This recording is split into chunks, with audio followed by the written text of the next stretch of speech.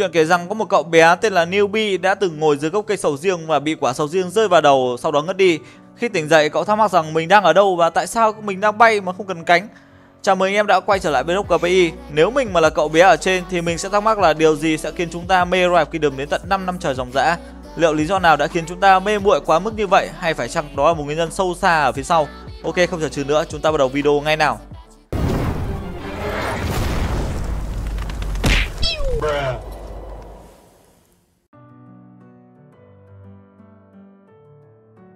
Chiến thuật đỉnh cao, tư duy vũ trụ, sức mạnh siêu nhiên là những gì mà một tựa game chiến thuật như Royal Kingdom sẽ mang lại cho các bạn nếu các bạn đủ thời gian để nghiên cứu cũng như học hỏi. Có thể game đã rèn luyện cho bạn thành một nhà lãnh đạo, một huấn luyện viên online mà bạn không hề hay biết. Với những tính năng sẵn có trong game như là gửi thư vương quốc, gửi thư liên minh thì mỗi lần gửi như vậy sẽ khiến bạn phải trau chuốt ngôn từ vì bạn gửi cho rất nhiều người mà. Bút xa thì gà chết, câu từ là phải thật chuẩn xác. Đặc biệt là không được sai chính tả, lý luận có hay cỡ nào mà sai chính tả thì cũng gọi là có cố gắng nhưng mà không đáng kể. Một số tính năng khác như là chỉ dấu liên minh, liên hiệp giúp bạn điều quân khiển tướng như một trận đánh ở ngoài đời thật. Game còn đặt bạn vào những trường hợp quan trọng như là chiếm đèo nhanh, thả pháo đài. Qua đó tôi luyện cho bạn khả năng ra quyết định, sai một ly là đi luôn một sải. Game còn dạy cho bạn khả năng tính toán chi ly kỹ càng để tiêu xài sao cho hợp lý. Game bạn đào được bao nhiêu thì nên dùng chúng cho những sự kiện nào và mỗi sự kiện là dùng bao nhiêu game. Bên cạnh đó thì chúng ta còn có rất nhiều thứ ở phần chìm của tảng băng Ví dụ như là cách tính ship rồi việc ngoại giao, ghép cặp, chuỗi cung ứng tài nguyên, rồi cách quản lý vương quốc vân vân và mây mây. Nếu bạn có thời gian, bạn có thể tìm hiểu chúng một cách kỹ càng hơn nha. Mình đã chơi nhiều trò chơi trước đây, cũng chơi khá giỏi nhưng mà toàn chơi một mình, thiếu sự liên kết giữa người với người. Nhưng đến với Rive Kingdom thì mọi thứ đã khác. Rive Kingdom có một cộng đồng người chơi đông đảo, cũng là một phần nguyên nhân giữ mình chơi tận bây giờ. Chơi game mà được một thành tựu ghê gớm như là có khung súng hoặc là đập nổ talent không biết khoe với ai thì lên phở bò khoe với cộng đồng trên đấy cũng là một cách flex văn minh. Cộng đồng trong game ngoài những người chơi nhiệt huyết hay chia sẻ các thủ thuật trích lỏ ra, còn có những người tạo sân chơi bằng cách là gắn kết mọi người ở trên mọi miền tổ quốc lại với nhau. Đó chính là những vị vua đáng kính của chúng ta. Không chỉ vậy, chúng ta còn có những quả offline tới bến của các vương quốc như là 2377, 1818, 1648. Game ảo mà ngoài đời anh em tình thật luôn, chén nào hết chén đấy rồi thậm chí là cộng đồng còn chung tay ủng hộ đồng bào bão lũ như các thành viên của Vương quốc 2975 ở đợt bão lũ miền Bắc vừa rồi chẳng hạn. Ngoài ra, các game thủ lâu năm sẵn sàng giúp đỡ người chơi mới chưa có kinh nghiệm. Đăng bài hỏi đáp thì chỉ dạy tận tình luôn, sau đó thì xin thêm kép bia. À không, cái này thì mình đùa thôi, chứ thực ra thì anh em trong group rất nhiệt tình, chị ngã thì em nâng luôn. Phải nói là cộng đồng Riot Kingdom Việt Nam là một trong những cộng đồng game tốt nhất và cứ với cái tình trạng này mình tin rằng Riot Kingdom sẽ còn phát triển hơn nữa trên đất Việt. Dù chỉ là một tựa game nhưng Royal Kingdom đã phản ánh tương đối chính xác một xã hội thu nhỏ nhưng mà vẫn đa dạng đủ loại người chơi nha. Thậm chí là có tầng lớp xã hội đàng hoàng. Đáy xã hội là đội móc mỏ phá làng phá xóm bị lưu đày về zone 1. Trên nữa thì phong phú các kiểu người chơi từ nông dân bá dơ đến đại gia ngầm, từ người chơi có kỹ năng đến kẻ chỉ biết combat mõm. Và trên đỉnh là vua hay là các boss, những người tạo sân chơi để chúng ta phát triển cũng như là chơi bời vui vẻ hơn. Cơ mà ở đâu cũng thế, người giàu thì sẽ được coi trọng, Người nghèo mà nhiệt tình có trách nhiệm thì vẫn được yêu quý. Thậm chí là nếu bạn có tài năng đặc biệt như là xây cờ, móc mỏ, leadball thì vẫn được cân nhắc lên R4. Để mà nói chi tiết thì không thể đếm được có bao nhiêu loại người trong game, chỉ bằng là anh em xem lại video top 10 những kiểu người chơi trong royal Kingdom của chúng mình mà có tới tận hai phần rồi là anh em có thể tự do chiêm nghiệm nha. P2W là viết tắt của cụm từ Pay to Win, ám chỉ người chơi hệ nạp dùng tiền để mua lợi thế.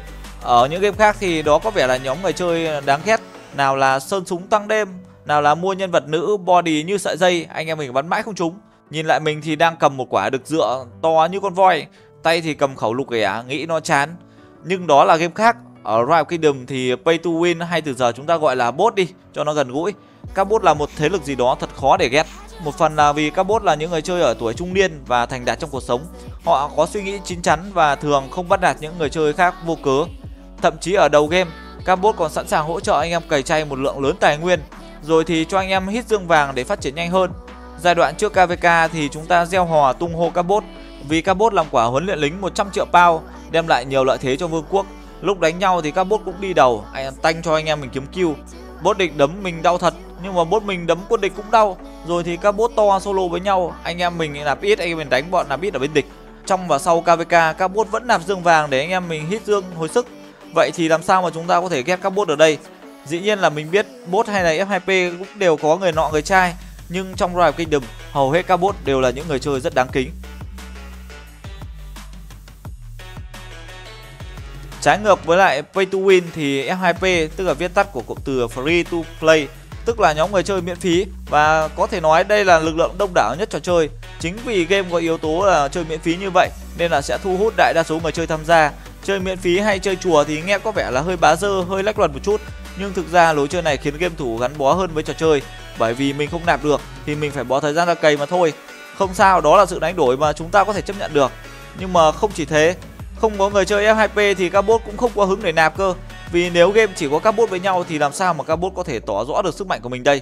Ngoài ra điểm đáng giá là lối chơi tưởng chừng không mạnh này lại mạnh không tưởng. Nếu gặp phải các thánh cày, ngày đào game, đêm kéo man Có khi mạnh không thua gì mấy ông nạp ít hè nạp tầm trung đâu. Mà đặc thù của dân cày quốc anh em mình là rất chăm xem báo cáo à, Chăm nghiên cứu game để sao cho tài khoản của mình mạnh nhất với chi phí rẻ nhất. Nghiên cứu các trích lỏ để sao cho mình đánh đấm hiệu quả, kiếm nhiều kill point những điều này nhiều bot còn chả để ý cơ, Dẫn đến hiện trạng là hầu hết anh em cày chay đều có kỹ năng rất cao đấy. Ở những trận chiến giữa các vương quốc tầm trung Thì các bot đúng là quan trọng thật đấy, Nhưng mà dàn F2P ở dưới có khi lại là nhóm người chơi quyết định vận mệnh của những trận chiến đó. Bên nào đông F2P mà F2P đó máu chiến hơn ấy Thì cơ hội win của bên đó là hơi bị cao luôn. Đã từng có khoảng thời gian ghép cặp trong Rise Kingdom trở nên khó khăn và mất công bằng có vương quốc ghép cặp cả mấy tháng trời vẫn không thể tìm được kèo phù hợp. Trường học còn lại thì rơi vào cảnh gặp đối thủ không cùng hạng cân, dẫn tới là cuộc chiến không cân sức. Từ đó thì game thủ trở nên chán nản và mất lòng tin vào hệ thống ghép cặp KVK. Những kèo KVK có hay và hấp dẫn hay không phụ thuộc hết vào các bước ghép cặp. Đây là điều kiện để ra lò những KVK địa ngục để đời mà bao người chơi quan tâm cũng như là theo dõi. Do đó để khắc phục vấn đề này, game đã phân bố những người chơi ở những tầng khu vực khác nhau vào những seed khác nhau như vậy thì những vương quốc mạnh nạp nhiều thì sẽ chơi ở các seed cao. Còn ai nạp ít hoặc không nạp thì cứ tìm vương quốc ở seed thấp mà chơi. Ta dạy, ta tìm nơi vắng vẻ. Người khôn thì người đến trốn lao sao. Vậy là cả làng cùng vui anh em nhỉ? À mà trước khi đến với những điều tuyệt vời phía sau, Thì nếu anh em muốn comeback hay là chơi mới, Thì có thể click vào đường dẫn ở dưới phần comment để tải game nhé. Không biết anh em thấy sao chứ mỗi lần Lilith ra sự kiện là mình phải thốt lên là ôi, mất dìu vì yêu mất rồi. Những sự kiện của Royal Kingdom rất ngon lành cành đào. Những chuỗi sự kiện sinh nhật người chơi S2P cũng kiếm được rất nhiều quà. Mình là mình hút được cả trăm chọc vàng đợt vừa rồi, ấm thật sự anh em ạ. Ngoài ra thì Lilith cũng rất quan tâm đến cộng đồng khi tổ chức những buổi giao lưu trò chuyện và mời những người nổi tiếng như là Mắc Quy Nhớt ở trời Tây chẳng hạn hay là phù thủy âm nhạc Masiu ở Việt Nam chúng ta.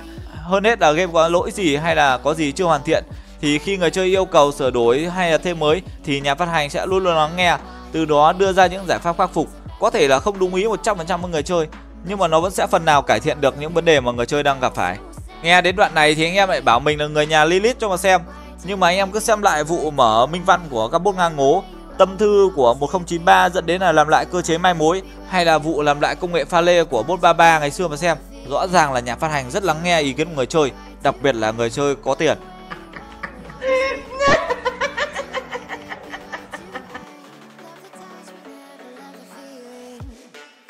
Ông bà ta thường có câu ở lửa gần rơm lâu ngày cũng bén. Ở trong một liên minh lâu ngày thì cũng sẽ nảy sinh tình cảm.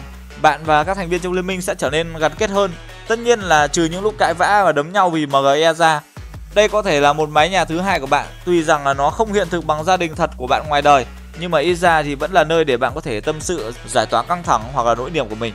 Ngoài ra thì bạn có thể kết bạn bốn phương, trà tranh chăm gió online, thậm chí nhậu online cùng những hảo hán cách bạn hàng nghìn km nhưng có thể trò chuyện chân thật qua màn hình điện thoại. Chưa kể còn có những trường hợp chơi game quen biết với nhau ở trên game rồi về chung một nhà nữa cơ. Nghe thì có vẻ vô lý nhưng mà nó là sự thực đấy anh em ạ. Đó là người ta, còn với riêng mình, mình thì có mấy kênh mạng xã hội ờ, ở đây để chia sẻ đam mê với mọi người. Từ đó thì thêm nhiều bạn hơn. Nói không phải thật chứ lâu lâu không livestream nói chuyện với anh em là mình gãi gãi ngáp ngáp như thằng anh em ạ. Nên là anh em để lại cho mình một like và đăng ký kênh nha. Cảm ơn mọi người rất nhiều. Game này hội tụ đủ mọi cột mốc gây nghiện mà bao game thủ hàng ao ước. Mới chơi thì luôn luôn muốn là tài khoản T5, chơi lâu thì muốn có VIP 18, khung súng, nhà thiên đỉnh, đủ thứ sang xịn bịn. Từ đó anh em bỏ qua câu cảnh báo là chơi quá 180 phút sẽ ảnh hưởng tới à, cái gì gì đấy của nhà phát hành. Giả vờ như chả thấy gì mà chỉ thấy già hơn sau mỗi KVK. Thức khuya ôm cờ móc mỏ làm game thủ Riot Kingdom già hơn mỗi ngày. Nhưng mà nói gì thì nói, chưa KVK là đỉnh cao của trò chơi này rồi. Giờ đánh KVK mà không được thức đêm với anh em thì thật là thiếu sót. Đã thế càng ngày chúng ta lại càng có nhiều định dạng KVK với nhiều cơ chế mới lạ hơn. Anh em cứ tham khảo lại video này của mình sẽ rõ. Chế độ chơi Oxidate cũng được nhà phát hành chăm chút và ngày càng trở nên ờ, eSport hơn. Đồ họa game thì cũng ngày càng mượt, bớt lag, 3D các thứ các kiểu nhìn đẹp được đấy. Rõ ràng thì càng ngày game càng hay và chất lượng em ạ.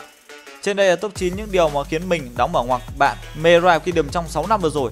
Dặn mãi không được ra top 10. Anh em còn lý do nào nữa không nhỉ? Để lại dưới phần comment cho mọi người cùng biết nhá Mình hy vọng là mọi người sẽ có được những phút giây giải trí sau video này. Còn bây giờ, mình là Bình Tĩnh. Xin chào và hẹn gặp lại.